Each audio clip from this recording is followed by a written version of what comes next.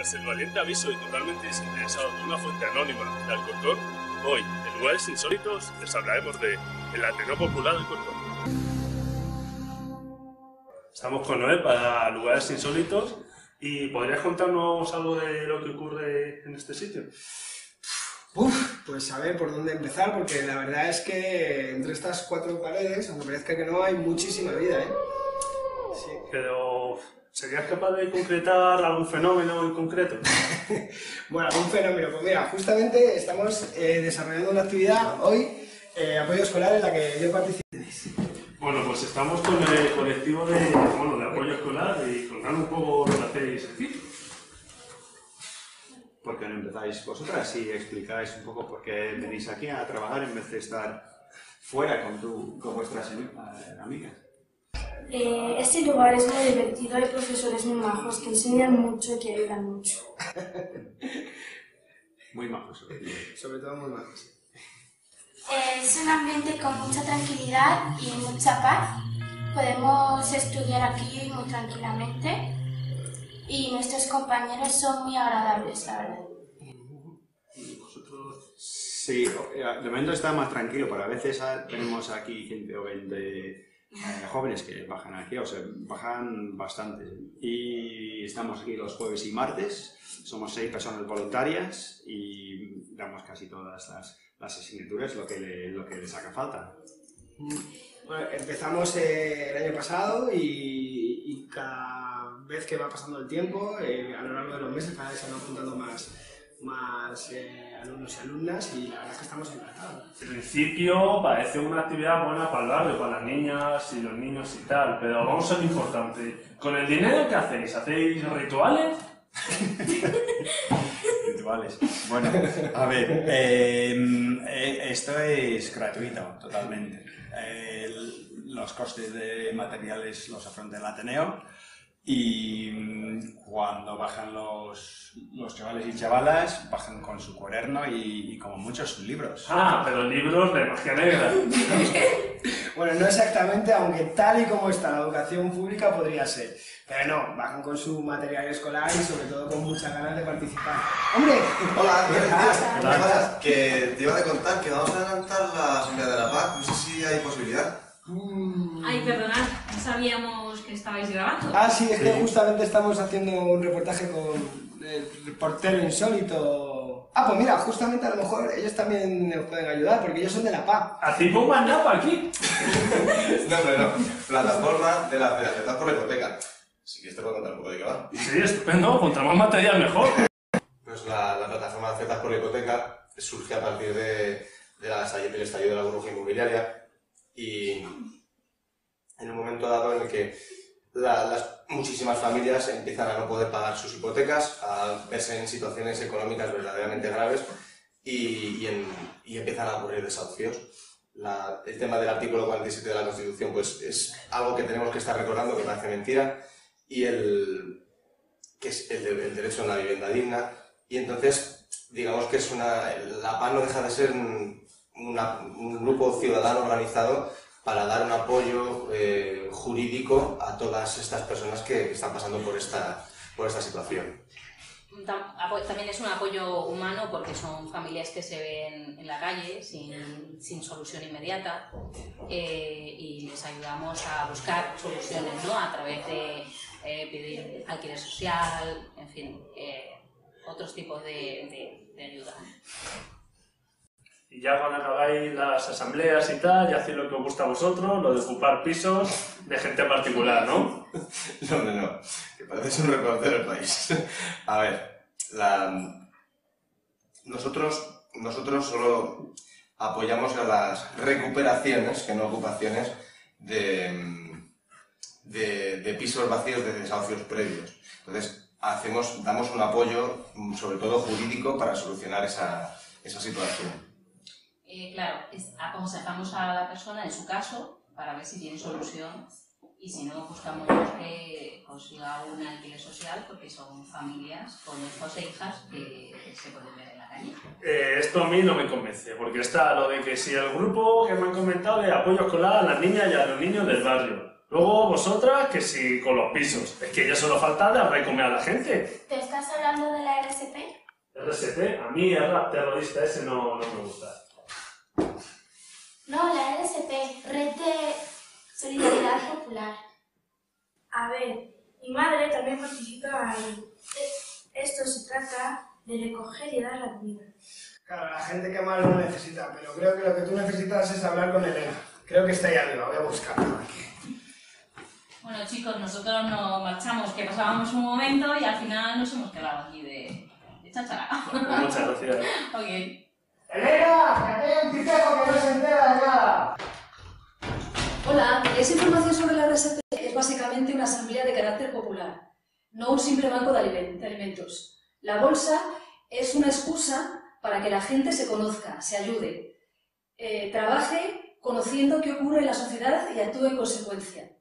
La RSP dispone de una asamblea horizontal donde se puede opinar, donde se puede dialogar, hablar incluso de política con respeto y las personas mm, pueden con el tiempo hacer red, empoderarse y construir otros proyectos más allá de la bolsa básica. Todo el mundo se conoce, se ayuda con independencia de su religión, su sexo, su forma de pensar y se intenta que las personas aumenten su grado de conciencia y su grado de implicación. O sea que sois un poco como caicas, ¿no? No, el objetivo no es solo que la gente tenga un mínimo de comida, sino crear una red de apoyo mutuo asambleario. Además, la gente tiene que ganarse su bolsa de comida no por caridad, sino haciendo turnos de trabajo por la mañana o por la tarde. Ya, déjame adivinar. Seguro que como el resto de colectivos, aquí nadie paga nada y todos los gastos que tengáis los sacáis por asamblea, ¿no? Eso es, lo vas pillando. Es que esto no puede ser. No podéis estar vosotros con la comida, que si nosotros con el techo, que si nosotros con la educación. Es que esto parece una película. ¿Películas? Mm, Bueno, no lo pillo bien, pero ahora va a venir un compañero que va, se encarga del proyector para una película feminista que Ajá. Así que aquí reunís a feministas. Claro, somos muchos colectivos, como los 14 o así. ¿14? Pues esto es peor que una reunión masónica. ¿Qué? No, na- nada, nada, que si cabéis aquí todos juntos. Lo intentamos, claro. ¿Qué ha sido esa aparición popular? ¿Qué? ¿Aparición popular? Participación popular. Esa es la idea del Ateneo. Somos muy diversas, pero al final nos entendemos. Eso no, mira. Ah, es el compa que te decía. Aquí proyectamos películas. Eh, cada mes eh, tratan sobre un determinado tema. Eh, eh, hemos hecho de humor, de transgénero, eh, de violencia machista. Eh, escogemos películas con contenido social que generen debate y esa es la idea, de ver una película, una buena película en compañía y, luego debatir la película y, eh, sobre el tema que trata en concreto. No sé si os han comentado, por cierto, que os recomiendo, que tenemos unas compañeras, Alza la Voz, que hacen unos recitales de poesía estupendos. Además, abiertos al público y totalmente gratuitos. ¿A dónde dices que es esta grabación? Es para lugares insólitos. Estamos recopilando un poco pues, la flora de fauna de, de Madrid, sobre todo y tal. ¿Fauna? Pues teníais que haber venido a los carnavales. Había unas ratas enormes, ¿eh? Porque en, esta, en este pueblo, claro, las calles están llenas de suciedad y basura y, y las ratas se ven atraídas, ¿sabes? Anda, mira, está ahí Alicia. Pues ella te puede informar sobre el movimiento feminista. O sea, no me digas que también estéis a favor de la tiranía de las mujeres aquí oprimiendo. Madre mía, me recuerdas a cierto alcalde. Ven que te la presento.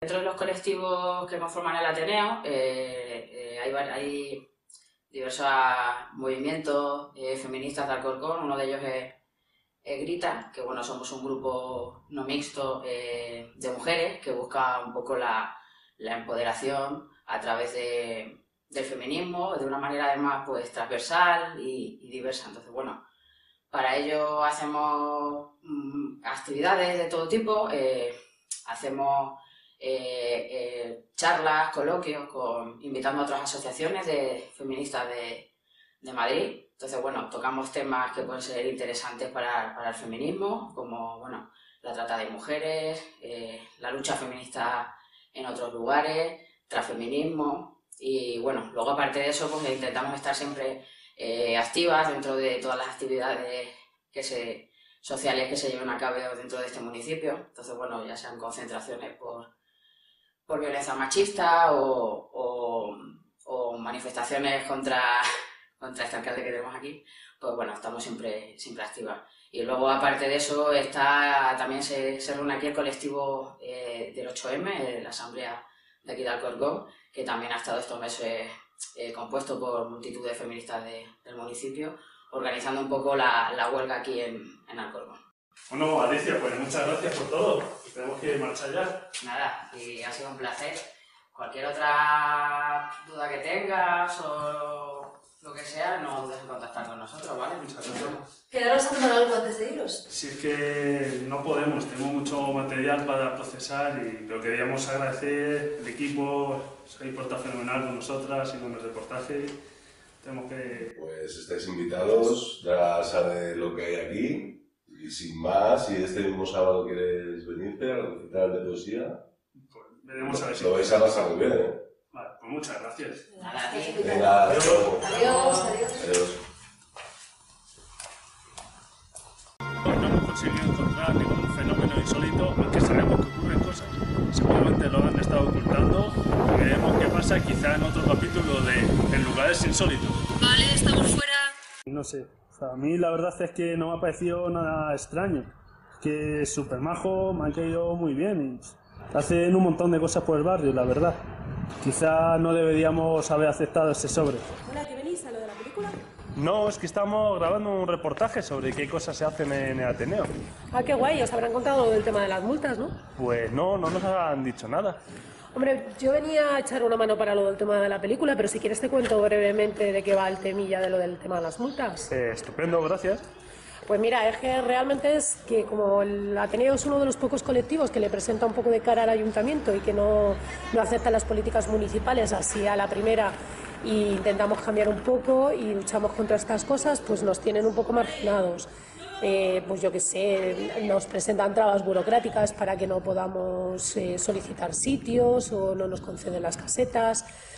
Cuestiones de estas también entre medias, si hacemos una manifestación o cualquier cosa nos insulta, presenta tweets con insultos, pues cosas que bueno, que ahora como veían que con eso nosotros no paramos y no echamos marcha atrás, pues lo que están intentando es, como saben que nosotros nos estamos autofinanciamos, ¿no? el local este nos autofinanciamos con cuotas de los socios malamente, pues intentando ahogar económicamente metiéndonos multas. Pero vamos, que la mayoría de la gente que estamos aquí somos, llevamos mucho tiempo en la lucha, con lo que eso no nos va a parar. Y hombre, sería cojonudo que, pues, que viniera más gente, que se sumara más gente al tema y que pudiéramos construir un Alcorcón pues, que nos gustara más a todos y que realmente fuera mejor para todo el mundo, no solamente para ellos. Eh, ¿Conoce usted el Ateneo Popular Alcorcón? No, no lo conozco. La segunda sería, ¿qué opina usted de que el ayuntamiento de Alcorcón se ofreciera como punto de cuidado para la huelga feminista de- del 8 de marzo? Pues no tenía ni idea, la verdad, de que daban ese servicio. Además es que tenía entendido de que el, el ayuntamiento de Alcorcón mm, como que es un poco machista, no sé, algo había oído. ¿Y qué le parecería si en realidad le digo que fue el Ateneo Popular el que se ofreció como punto de cuidado y de descanso? Pues me parece muy bien, la verdad. No sé, me informaré a ver mm, en qué consiste el Ateneo Popular.